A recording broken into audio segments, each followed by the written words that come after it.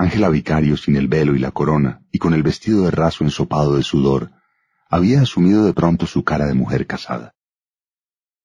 Santiago Nazar calculaba, y se lo dijo a Bayardo San Román, que la boda iba costando hasta ese momento unos nueve mil pesos. Fue evidente que ella lo entendió como una impertinencia.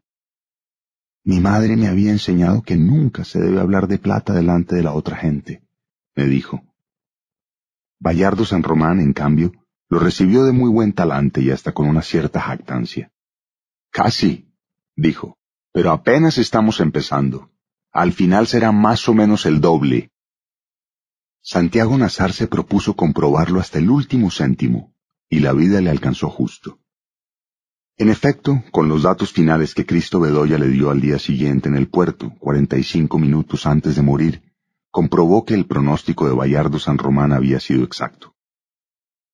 Yo conservaba un recuerdo muy confuso de la fiesta, antes de que hubiera decidido rescatarla a pedazos de la memoria ajena. Durante años se siguió hablando en mi casa de que mi padre había vuelto a tocar el violín de su juventud en honor de los recién casados, que mi hermana, la monja, bailó un merengue con su hábito de tornera, y que el doctor Dionisio Iguarán, que era primo hermano de mi madre, consiguió que se lo llevaran en el buque oficial, para no estar aquí al día siguiente cuando viniera el obispo. En el curso de las indagaciones para esta crónica recobré numerosas vivencias marginales, y entre ellas el recuerdo de gracia de las hermanas de Bayardo San Román, cuyos vestidos de terciopelo con grandes alas de mariposas, prendidas con pinzas de oro en la espalda, llamaron más la atención que el penacho de plumas y la coraza de medallas de guerra de su padre. Muchos sabían que en la inconsciencia de la parranda le propuse a Mercedes Barcha que se casara conmigo cuando apenas había terminado la escuela primaria, tal como ella misma me lo recordó cuando nos casamos catorce años después. La imagen más intensa que siempre conservé de aquel domingo indeseable fue la del viejo Poncio Vicario sentado solo en un taburete en el centro del patio.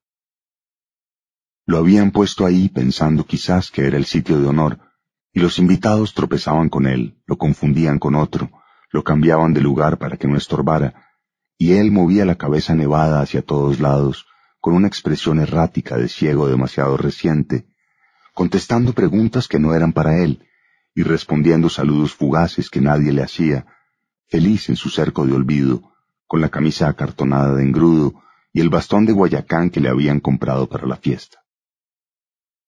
El acto formal terminó a las seis de la tarde cuando se despidieron los invitados de honor.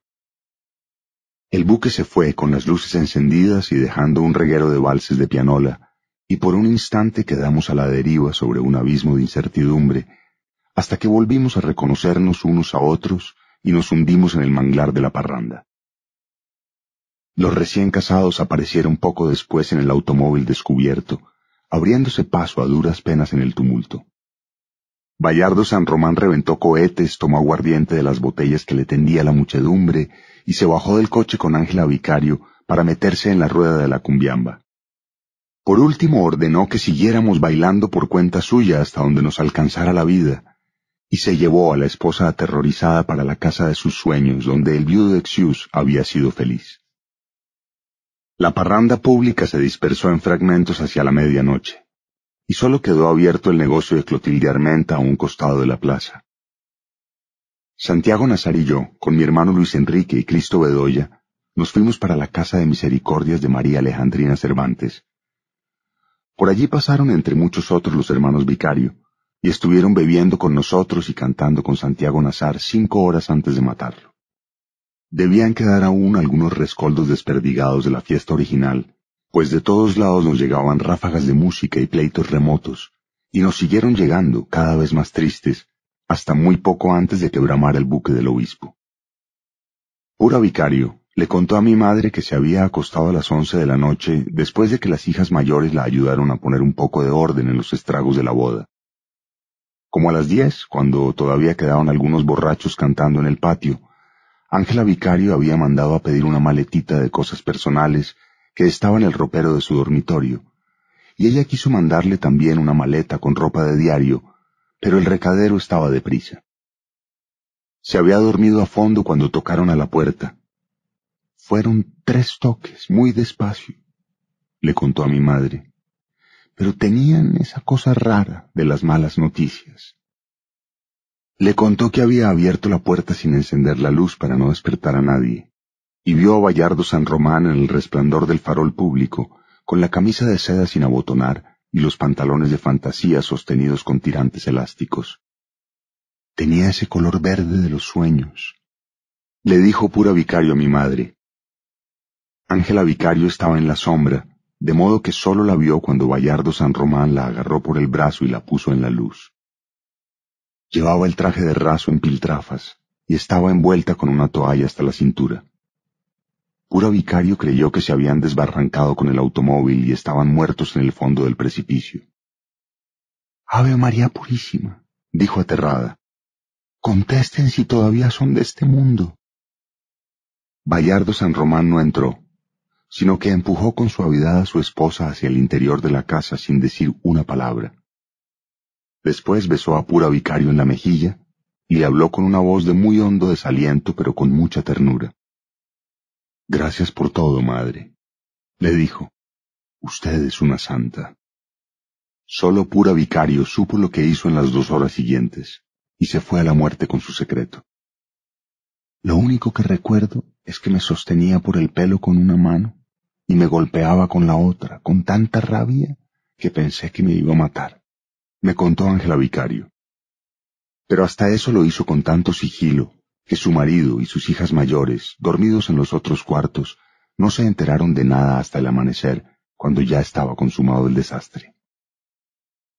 Los gemelos volvieron a la casa un poco antes de las tres, llamados de urgencia por su madre. Encontraron a Ángela Vicario tumbada boca abajo en un sofá del comedor, y con la cara macerada a golpes, pero había terminado de llorar. Ya no estaba asustada, me dijo. Al contrario, sentía como si por fin me hubiera quitado de encima la conduerma de la muerte, y lo único que quería era que todo terminara rápido para tirarme a dormir. Pedro Vicario, el más resuelto de los hermanos, la levantó en vilo por la cintura y la sentó en la mesa del comedor.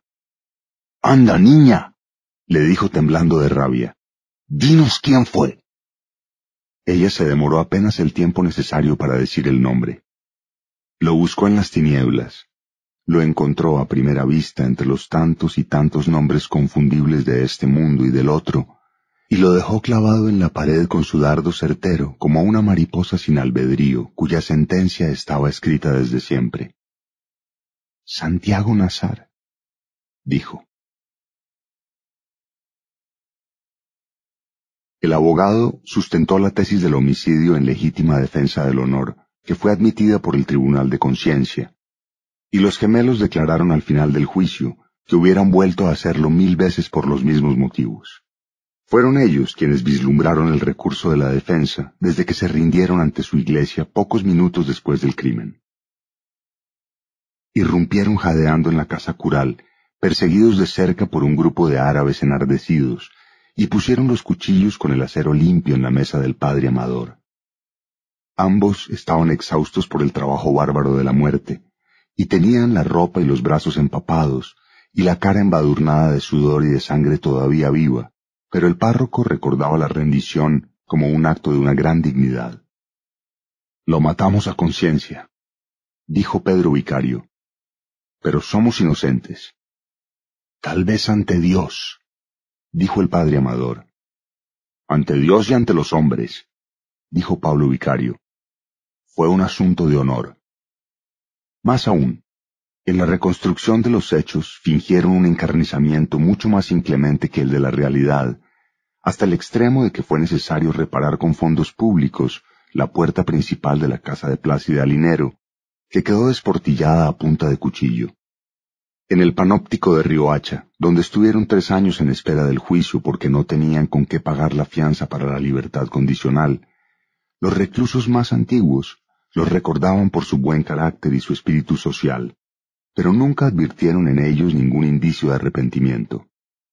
Sin embargo, la realidad parecía ser que los hermanos vicarios no hicieron nada de lo que convenía para matar a Santiago Nazar de inmediato y sin espectáculo público, sino que hicieron mucho más de lo que era imaginable para que alguien les impidiera matarlo, y no lo consiguieron.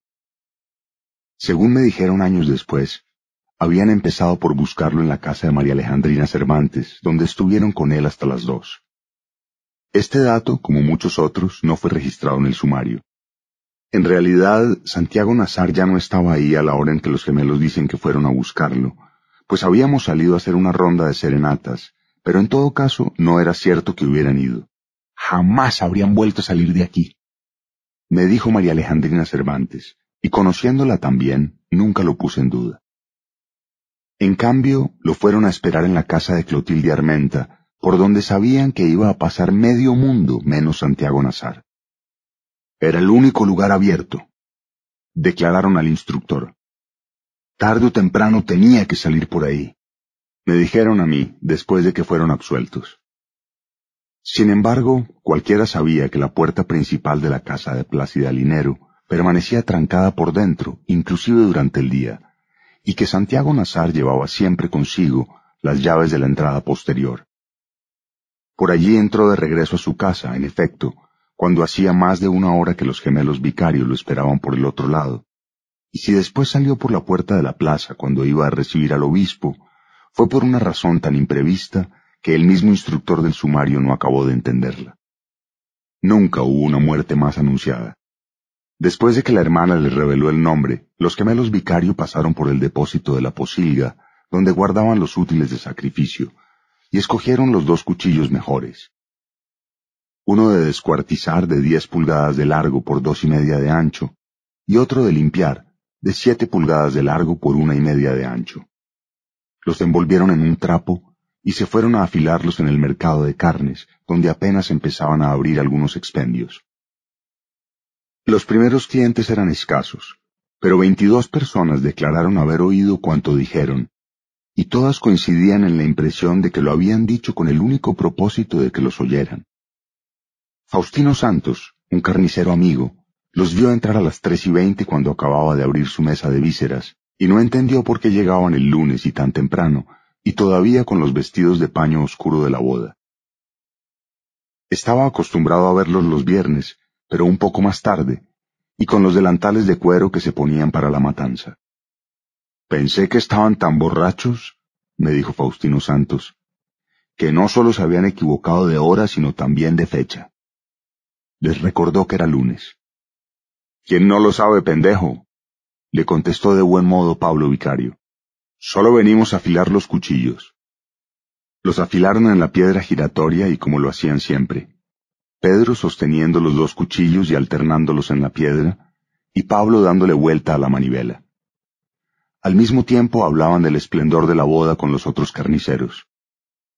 Algunos se quejaron de no haber recibido su ración de pastel a pesar de ser compañeros de oficio, y ellos les prometieron que las harían mandar más tarde. Al final hicieron cantar los cuchillos en la piedra, y Pablo puso el suyo junto a la lámpara para que destellara el acero. Vamos a matar a Santiago Nazar, dijo. Tenían también fundada su reputación de gente buena, que nadie les hizo caso. Pensamos que eran vainas de borrachos, declararon varios carniceros, lo mismo que Victoria Guzmán y tantos otros que los vieron después. Yo había de preguntarles alguna vez a los carniceros si el oficio de matarife no revelaba un alma predispuesta para matar a un ser humano. Protestaron. Cuando uno sacrifica una res, no se atreve a mirarle los ojos. Uno de ellos me dijo que no podía comer la carne del animal que degollaba. Otro me dijo que no sería capaz de sacrificar una vaca que hubiera conocido antes, y menos si había tomado su leche. Les recordé que los hermanos vicarios sacrificaban los mismos cerdos que criaban, y les eran tan familiares que los distinguían por sus nombres.